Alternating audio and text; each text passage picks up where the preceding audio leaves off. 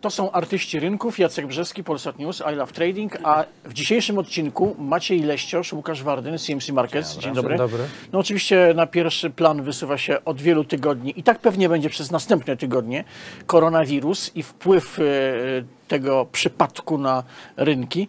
To zacznijmy od amerykańskiego rynku giełdowego. Łukaszu, S&P 500 jest w gronie e, tych indeksów, które są poszkodowane. Który indeks nie jest poszkodowany? Ale ta, te straty S&P 500 nie są takie e, dramatyczne. No, ten indeks cofnął się w okolice wartości z czerwca 2019 roku. Więc to jest naprawdę, można powiedzieć, relatywnie jeszcze niewiele, bo jeżeli spoj- spojrzymy na wiele rynków, e, to tam, gdzie była hossa, bo na naszym rynku tej hossy takiej prawdziwej nie było, ale tam, gdzie była hossa, to 3-3,5 roku hossy zostało ścięte. E, no w Polsce w ogóle dzisiaj jesteśmy tak naprawdę w okolicach e, dołka e, po tych spadkach z 2000 okolicy upadku Lehman Brothers, więc jesteśmy bardzo blisko tego poziomu. No, natomiast faktycznie S&P czy Nasdaq aż tak mocno jeszcze wcale nie spadły. To są też jedyne albo jedne z niewielu indeksów, na których widać, że są jakieś próby odreagowania, są jakieś próby e, w miarę skuteczne, przynajmniej w krótkim terminie, łapania jakichś dołków. Jak widzimy w średnim terminie zdecydowanie nieskuteczne, ale jest poziom 2600, później poziom 2400, to są jakieś poziomy zaczepienia, gdzieś wsparcia. E, Można sobie właśnie rozszerzyć wykres i zobaczyć e, w szerszej perspektywie, e, no gdzieś tam jakieś te, te, te wsparcia potencjalne, potencjalne się pojawiają. Warto przypomnieć, że tak naprawdę dopóki cena, kurs nie odbije się od jakiegoś poziomu historycznego, no to jeszcze jest za wcześnie nazywać to wsparciem. Trzeba po, poczekać, na, trzeba poczekać na reakcję rynku. Tak, to jest tylko i wyłącznie spekulacja, że tam może być jakiś punkt zaczepienia. Jeszcze taka kwestia.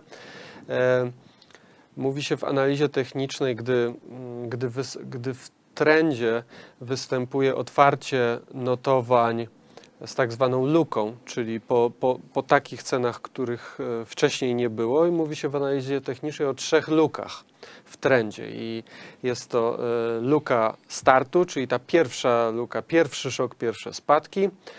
E, Później, później jest luka ucieczki, I, I ta ostatnia luka wyczerpania, czyli po tej luce już teoretycznie jest już wielki pesymizm i inwestorzy e, sprzedają już resztki, część już nie chce sprzedawać i zazwyczaj ta trzecia luka zwiastuje odwrócenie. Już na S&P zależy jak liczyć, chyba mieliśmy 5 luk, E, Dzisiaj mieliśmy na DAX-ie również czwartą albo piątą, zależy jak do tego, jak do tego podejść, więc no, ta zasada też nie działa. To idealnie pokazuje, jak trzeba być na tym rynku ostrożnym w łapaniu dołku, w łapaniu spadającego noża. No, trzeba być e, ostrożnym na rynkach, bo jak się e, patrzy na związany z e, indeksem S&P indeks WIX, indeks zmienności, czy raczej strachu, no to, no to strach się bać. Bo to jest indeks, który no, w, tak w przybliżeniu prognozuje, jak zachowa się S&P w ciągu najbliższych e, 30 dni. No i tak dużego strachu jak teraz to nie było od 2011 roku. Tak, on jest oparty konkretnie o opcje 30-dniowe na e, indeks S&P 500. E, W 2008 roku ostatnio e, był na takim poziomie jak aktualnie, natomiast dynamika wzrostu tego indeksu strachu, indeksu WIX tutaj jest zatrważająca. Startowaliśmy na początku stycznia z poziomu 12,5, w tym momencie jest to poziom już zbliżający się do 62, więc to pokazuje jak duża jest skala obaw inwestorów i rynków w tym momencie. W 2008 roku jednak ta dynamika, dynamika była dużo mniejsza, e, dużo spokojniej rynki dochodziły do tego poziomu. I tutaj w, tak w odniesieniu do samego mm, indeksu strachu warto jeszcze wspomnieć o innym indeksie, no również między innymi strachu, indeks strachu i chciwości, który jest publikowany przez e, CNN. E, On w tym momencie jest na poziomie ekstremalnego strachu. Jeszcze trzy tygodnie temu byliśmy blisko ekstremalnej chciwości, teraz na zupełnie drugą stronę stronę się ta wskazówka publikowana w tym indeksie przesunęła. Więc oczywiście e, te- temu, tej, temu strachowi na rynku no, towarzyszy duża bardzo zmienność na indeksie S&P 500. Choćby dzisiaj mieliśmy zawieszone notowania kontraktów terminowych na S&P 500, to samo miało miejsce na początku tygodnia. Takie e, sytuacje e, nie miały miejsca ani razu pomiędzy 2008 a 2020 rokiem, więc faktycznie zmienność jest gigantyczna. I ona się jeszcze może utrzymywać. Są analitycy, którzy już w tym momencie prognozują, że indeks strachu, indeks WIX może mieć wartość trzycyfrową, czyli ponad 100. To teraz waluta, ale wirtualna. Bitcoin. Y, Teraz mamy granicę 6 tysięcy dolarów za bitcoina. Tydzień wcześniej było 9 tysięcy dolarów. Zjazd wyraźny. Po spadku 20 parę procent dzisiaj. E, No i jeszcze niedawno inwestorzy, ci którzy, ci, którzy są na Bitcoinie, faktycznie pokazywali, że to jest inna trochę klasa inwestorów, że oni nie są, nie są powiązani z, tym, z innymi rynkami. E, No dzisiaj, dzisiaj spanikowali. E, Bez dwóch zdań też część tej sprzedaży była po prostu jakaś portfelowa, czyli fundusze, które mają różne aktywa, to sprzedawały, tam nie ma płynności. E, Ale no, no nie, ma, nie, ma bezpiecznych, nie ma bezpiecznych przystani w tym momencie e, oprócz gotówki. To teraz wracamy do giełd papierów wartościowych. Skupiamy się na naszej giełdzie, na WIG-20 Maćku. Kolejna nieudana sesja, kolejne dramatyczne spadki. I W zasadzie w skali ostatnich 12 miesięcy to mamy już minus y, chyba prawie 40%. No, w ogóle giełda warszawska jest w tym momencie jedną z najsłabszych giełd globalnie e, patrząc. E, No, sytuacja jest e, oczywiście podobna i ta dynamika spadków tych z 2008 roku, ale wtedy e, musimy sobie przypomnieć, jaki był poziom. WIG20 był w okolicach e, 4000 punktów po pięcioletniej hoście.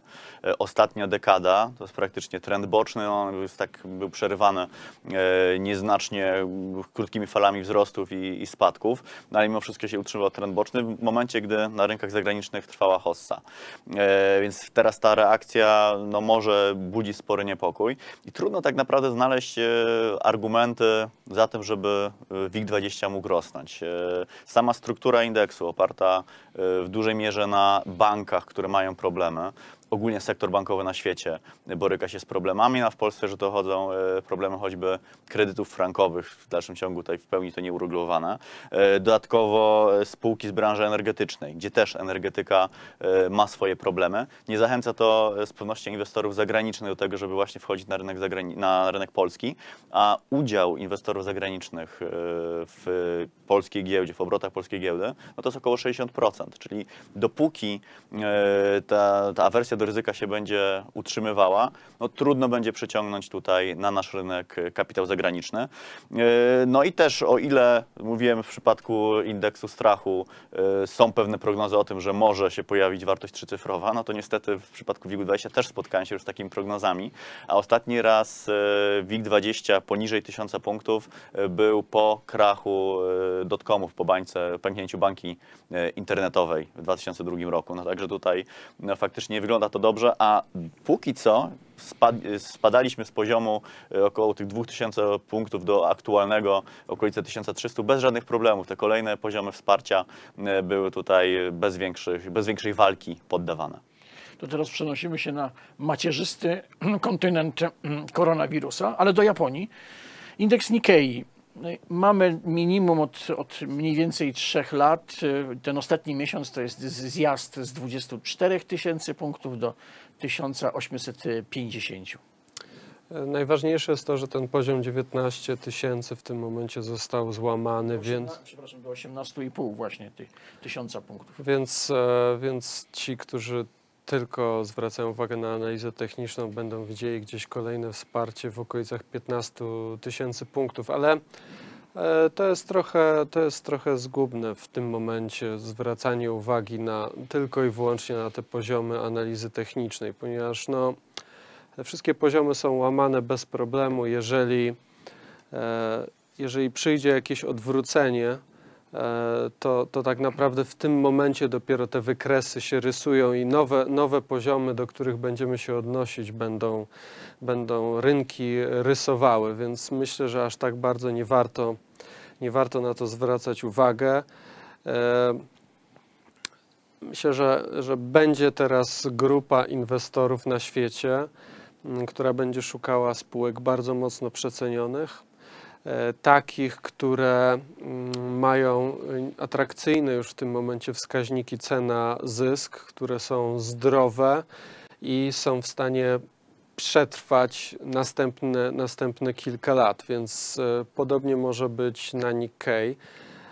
Aczkolwiek już ostatni, ostatni publikowany kwartał PKB, to tam mieliśmy e, 0,7% spadku PKB, więc e, za chwilę możemy mieć kolejny kwartał i oficjalnie ogłoszoną recesję.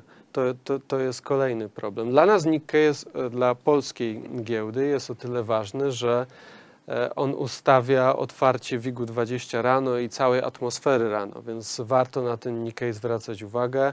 Mm, No niestety trend spadkowy się tam, e, tam zdecydowanie rozpędził, e, ale tak jak mówię, e, no jesteśmy po tak mocnych spadkach, że e, łatwiej w tym momencie będzie o jakieś spektakularne odbicie. Maćku, metale szlachetne są teraz bezpieczną przystanią? Nie do końca, bo złoto jest wysoko, ale nie tak wysoko jak w 2011 roku. Palat był y, przebojem rynku pod koniec lutego, bo, bo teraz to już jest wyraźnie tańsze. W przypadku złota no miała miejsce przez pewien czas taka klasyka złota, czyli uciekanie do tej, no, w, opinii większości, bezpiecznej przystani. E, natomiast no, to, to się faktycznie skończyło. Rynek e, nieco skorygował e, ten ruch wzrostowy. E, tutaj to może być między innymi uzasadnione potrzebą spieniężenia przede wszystkim e, tych zysków e, i utrzymanie depozytów zabezpieczonych w przypadku zdywersyfikowanych portfeli, depozytów zabezpieczających na innych e, instrumentach e, opartych o, o indeksy, e, które dość silnie w ostatnim czasie traciły. Jeżeli chodzi o palat, no to no tutaj faktycznie palat, pomimo że jest metalem szlachetnym, no to w dużej mierze wykorzystywany jest w przemyśle i to jest główna, główny powód. Już w zasadzie w marcu, jesteśmy, mamy 12 dzień marca, a już 30% w tym miesiącu palat stracił. No tu jednak jego rola jako e, surowca wykorzystywanego w motoryzacji, metalu wykorzystywanego w motoryzacji, e, to jest kwestia kluczowa. E, Motoryzacja sama, popyt na, na samochody mocno spada, zatem no tutaj też jego rola wykorzystywania katalizatorów też mocno maleje, no i, i jest ryzyko tego, że popyt będzie spadał. A co do jeszcze do złota, bo też spotkałem się z rekomendacją i z, z prognozami banku UBS, podniósł on cenę docelową dla złota do 1790 dolarów za jedną uncję, czyli to jest e, poziom około 200 dolarów e, wyższy od aktualnego. No więc e, nawet bank UBS tutaj też widzi perspektywy dla samego złota i myślę, że to może być uzasadnione tym, że na rynku cały czas jest bardzo duży strach i nie ma absolutnie chęci inwestowania w ryzykowne aktywa, dlatego no, tutaj potencjał wydaje się całkiem mm, spory. No i jeszcze z metali szlachetnych warto by wskazać złoto, srebro, które również traci ze względu na mm, wykorzystanie w przemyśle, ale nieco innym w elektronice. No i platyna podobnie do, do paladu, chociaż tutaj dynamika spadków nieco mniejsza, bo około 20% e, straciła, ale też dopóki m, same kwestie e, popytu na dobra e, przemysłowe, na, na, na motory, w motoryzacji e, nie, nie wzrosną, no to tutaj też trudno będzie oczekiwać e, odwrócenia się tych trendów spadkowych. Kończymy pierwszą część artystów rynków. W drugiej części będziemy mówili o ropie naftowej i jej niskich cenach.